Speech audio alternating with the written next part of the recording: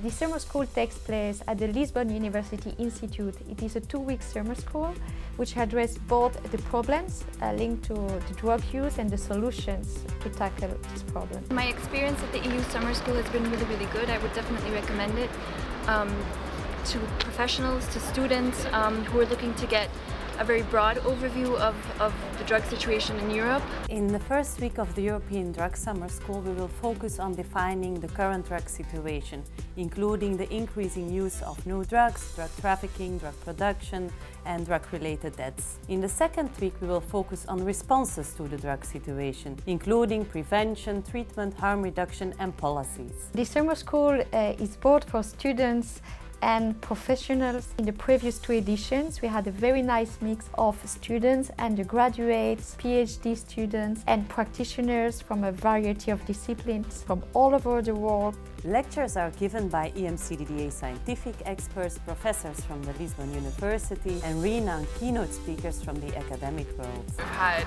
a very, very good selection of speakers. The people who actually gave the lectures, they, they really knew what they were talking about. I think I've learned quite a deal.